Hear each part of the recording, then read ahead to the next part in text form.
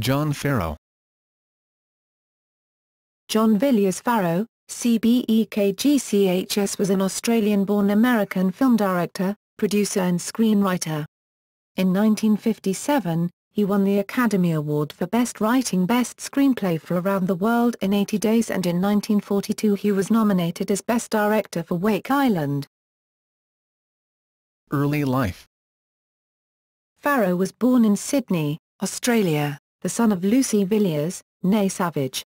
1881-1907, a dressmaker, and Joseph Farrow, 1880-1925, a tailor's trimmer.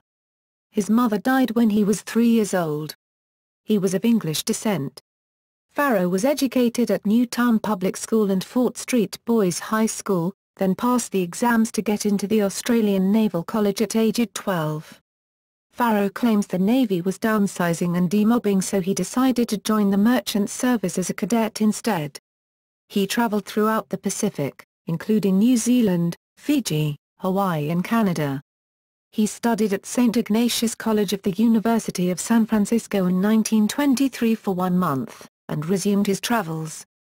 On arrival in Hollywood, Farrow fabricated his education, saying he attended Newington College, he only lived in a street below its ovals, Winchester College and the Royal Naval Academy, when he had only passed exams for its Australian counterpart. Many publications and websites still contain this information. Career Writing work Farrow started writing while working as a sailor and became interested in screenwriting after meeting Robert J. Flaherty. In 1927 it was reported he was working on a story called The Blue Danube, set in Austria. Farrow returned to the U.S. in 1927 and began working in Hollywood as a technical advisor on ship-related movies he soon established himself as a notable screenwriter. He worked for DeMille Productions, Paramount Pictures Incorporated and RKO Radio Pictures Incorporated. He also compiled an English-French Tahitian dictionary and wrote a novel, Laughter Ends, 1933. In 1932 he went to England where he worked as a writer and assistant director on a film of Don Quixote, and briefly visited Tahiti again. Farrow returned to Hollywood and re-established himself as a screenwriter. On January 27, 1933 he was arrested while dancing at the Coconut Grove nightclub for breach of his visa. This was part of a general crackdown against illegal immigrants in the film industry. Farrow was charged with making a false statement while entering the U.S., claiming he was Romanian. Although threatened with deportation in the end he was only given five years probation, before being acquitted in 1934. Farrow received a plum appointment to work on Tarzan Escapes, 1936, but the film wound up being rewritten and reshot. Film director In 1930, it was announced that Farrow would direct his own story First Love but this did not eventuate. He signed to Warner Brothers in 1936 looking to direct and was linked with a number of projects, including a Foreign Legion story and an adaptation of The Pit and the Pendulum. Farrow finally made his directorial debut in 1937 with Men in Exile. Following this, he accompanied his wife to Europe, where she was making a Yank at Oxford, 1938, lecturing on Father Damien, about whom Farrow had written a book, and receiving a papal knighthood. On his return to Hollywood, Farrow resumed working as a director for Warner's. He made several movies with Kay Francis and discovered a young Peggy Ann Garner. Farrow left his contract for a number of months, ostensibly to finish a book he was writing on the history of the papacy, and also due to disputes over the script of Kay Francis's Women in the Wind. However he soon re-emerged as a contract director for RKO. While there he made a number of highly successful B-movies, notably The Saint Strikes Back, 1939, and Five Came Back, 1939. War service Despite his flourishing career and recently having become a father for the first time, Farrow was keen to be involved in World War II. He went to Vancouver in November 1939 and enlisted in the Canadian Navy. Farrow was appointed lieutenant in March 1940 and assigned to Naval History in the Controller of Information Unit. He worked on anti-submarine patrols and in April 1941 was loaned to the Royal Navy and appointed to HMS Goshawk Naval Base in Trinidad, and served as assistant to the senior British naval officer, Curaçao. He contracted typhus fever and returned to Naval Headquarters, Ottawa, in late 1941. It was announced he would direct a Canadian war film starring his wife Maureen O'Sullivan while on leave, but this did not eventuate. Farrow was invalided out of the Canadian Navy in January 1942 at the rank of commander but remained in the Naval Reserve. In July 1943 he served as technical consultant for the proposed Royal Canadian Navy show. In May 1945 he was briefly recalled to active duty, travelling to Britain for work in connection with the Director of Special Services. Return to directing.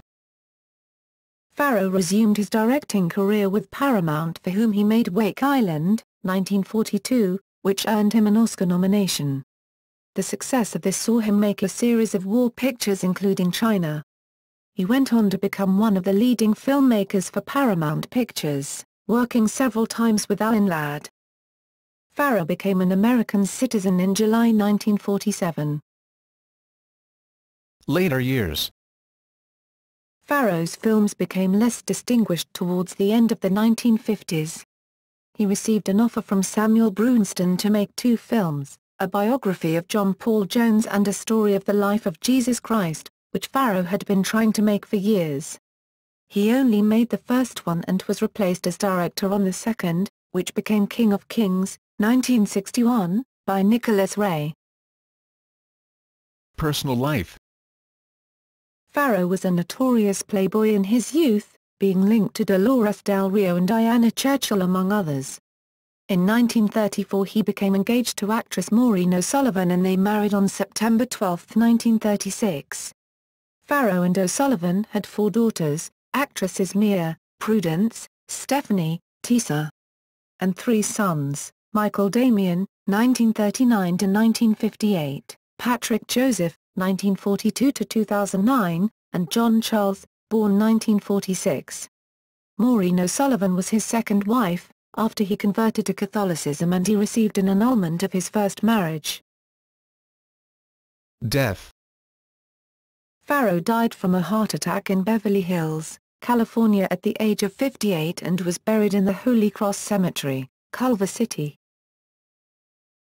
Awards and honors Knight Grand Cross of the Order of the Holy Sepulchre by Pope Pius XI in 1937, Oscar nomination in New York Film Critics Circle Award for directing Wake Island, 1942, Order of St. John of Jerusalem 1951, Honorary Commander of the Order of the British Empire, CBE, in 1953, Oscar and Writers Guild of America Award for his adapted screenplay for Around the World in 80 Days, 1956. His star on the Hollywood Walk of Fame is located at 6304 Hollywood Boulevard.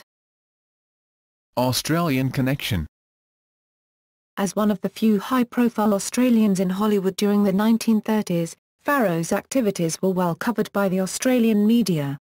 He accepted the Oscar won by the Australian documentary Kokoda Frontline, 1943, met Australian Senator Richard Keane, the Minister for Trade and Customs, when he visited Hollywood during the war and offered to assist in the establishment of an Australian information service in the U.S.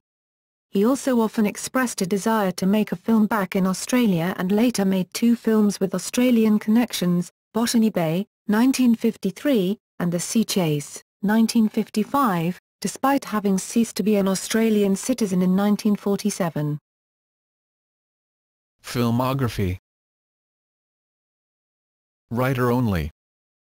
White Gold, 1927, titles, The Wreck of the Hesperus, 1927, Story, A Sailor's Sweetheart, 1927, Three Weekends, 1928, The Woman from Moscow, 1928, The First Kiss, 1928, Ladies of the Mob, 1928, The Blue Danube, 1928, Story, The Showdown, 1928, titles, the Bride of the Colorado, 1928, Story, The Four Feathers, 1929, Titles, The Wheel of Life, 1929, Adaptation, A Dangerous Woman, 1929, The Wolf Song, 1929, Inside the Lines, 1930, Dialogue, Shadow of the Law, 1930, The Bad One, 1930, Story, Seven Days Leave, 1930, Continuity and Dialogue, The Common Law,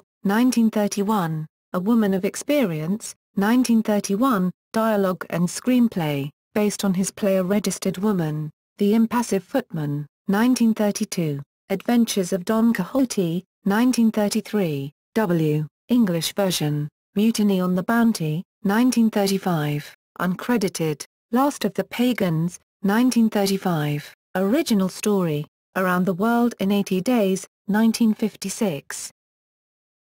Director The Spectacle Maker, 1934, also writer, Tarzan Escapes, 1936, uncredited, also writer, Men in Exile, 1937, She Loved a Fireman, 1937, West of Shanghai, 1937, Comet Over Broadway, 1938, uncredited, Broadway Musketeers, 1938, My Bill, 1938, Little Miss Thoroughbred, 1938, The Invisible Menace, 1938, Reno, 1939, Full Confession, 1939, Five Came Back, 1939, Sorority House, 1939, Women in the Wind, 1939, The Saint Strikes Back, 1939, A Bill of Divorcement, 1940, Married and in Love, 1940, Commandos Strike at Dawn, 1942,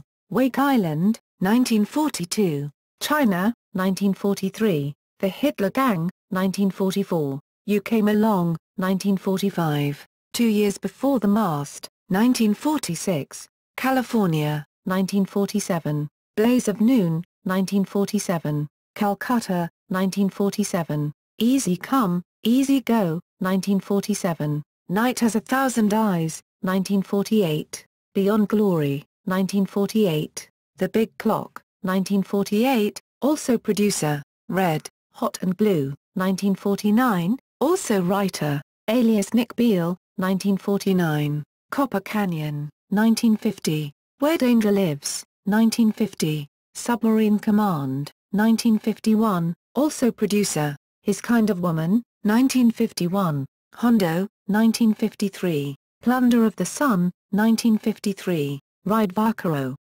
1953, Botany Bay, 1953, A Bullet is Waiting, 1954, The Sea Chase, 1955, also producer, Back from Eternity, 1956, also producer, The Unholy Wife, 1957, also writer, producer, John Paul Jones, 1959, also writer. Books. The Bad Ones, 1930, novel, Laughter Ends, 1933, novel, Damien the Leper, 1937, biography of Damien of Molokai, The Royal Canadian Navy 1908-1940, 1940, history, Pageant of the Popes, 1943, history of the papacy, Seven Poems in Pattern, 1955, collection of poetry, story of Sir Thomas More, 1956, biography of Thomas More. Play A Registered Woman, 1931.